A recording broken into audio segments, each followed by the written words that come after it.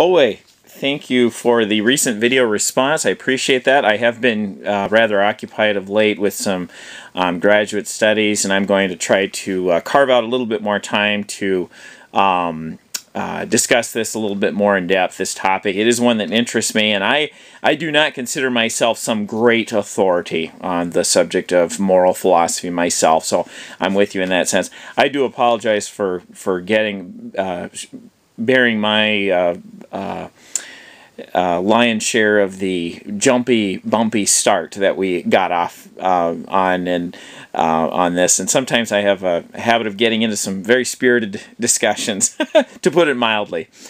Um, really, what are we talking about here? We're talking about the relationship, I think, of the of morality to either Christian theism or to a non-theistic alternative such as secularism naturalism how would those how would that outlook and that philosophy of life how would that account for morality?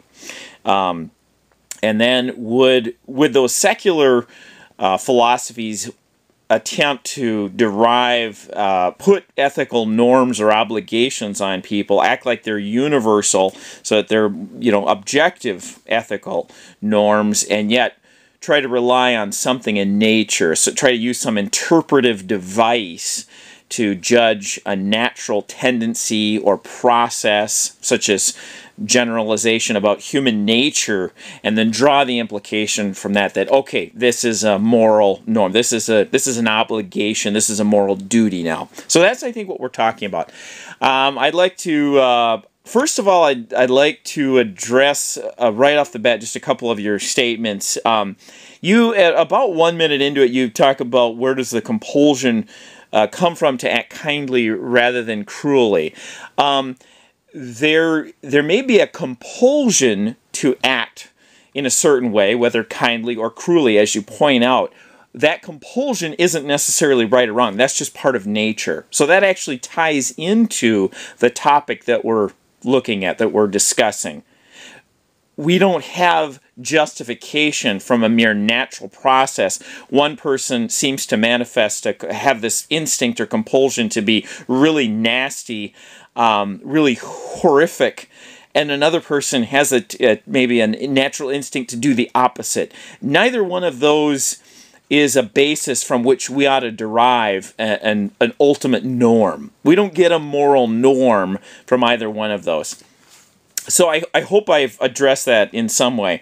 Um, you, we talked about, uh, or you, you mentioned getting close to two minutes into it, you talk about this uh, notion of God being a third party um, coming in. I, I think that theism would approach that as God being the, the source of, of uh, morality. So if we're going to um, talk about command theory, um, any any commands would have to be legitimated from a higher source, from someone who is an authority. So either we would turn to man or human nature for that. But again, they we can't just derive just from a natural process. We wouldn't be able to derive an ethical norm from that. So someone would there would still needed to be an authorizing agent, someone who is acting as an authority to interpret and say, okay, this is the norm. This is the ethical obligation that you have in this situation that everybody would have. It's like a universal statement. That's what we're talking about.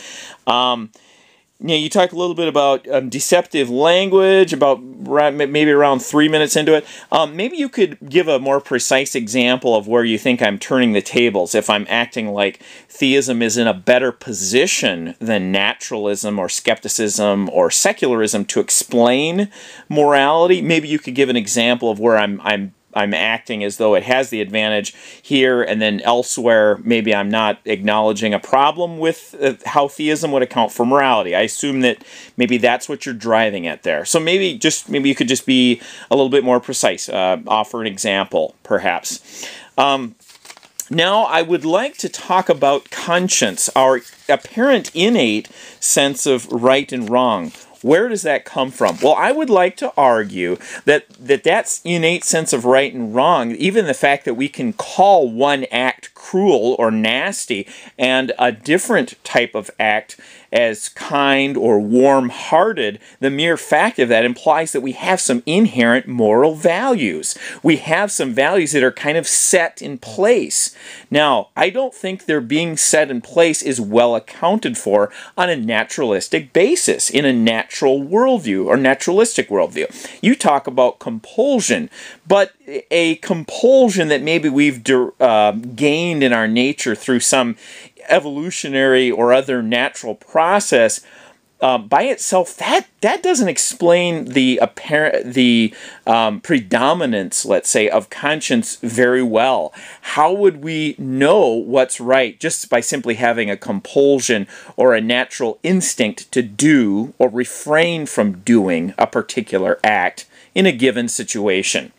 Now, on theistic ground, I think we can account for that fairly well. Um, we have God who has created man according to Genesis, the first book in the Old Testament. He's created man in his likeness or image. The words likeness and image are fairly uh, similar, they seem to denote. Um, a property that a man has which separates him from uh, the beast that just acts strictly on their um, by their nature, by, by instinct. So man has a reasoning and a linguistic capacity um, to judge things, to make moral judgments that um, animals appear to lack, uh, essentially. So we are created in God's image. Now, that moral judgment making uh, capacity or conscience, um, which which I believe is peculiar to uh, man, to humans, uh, is appears to be better explained on the theistic level, on the theistic assumption um, that God has created man in his image, that man is not merely a natural uh, process or end result or byproduct of evolution. I'd be interested in getting your feedback on this, of course, and um, I know that you've alluded to this a little bit in prior videos, and I think maybe you've been a tad abstract or vague in certain uh, areas where you would use um, a natural uh, process or phenomenon in order to account for um, given moral uh, moral standards. And so I would challenge you to dig a little bit deeper, probe a little farther um, in this area. And I look forward uh, to another video response if you have one, and uh, maybe we can get into some more particulars. All right, thanks a lot. We'll talk to you later. Bye bye.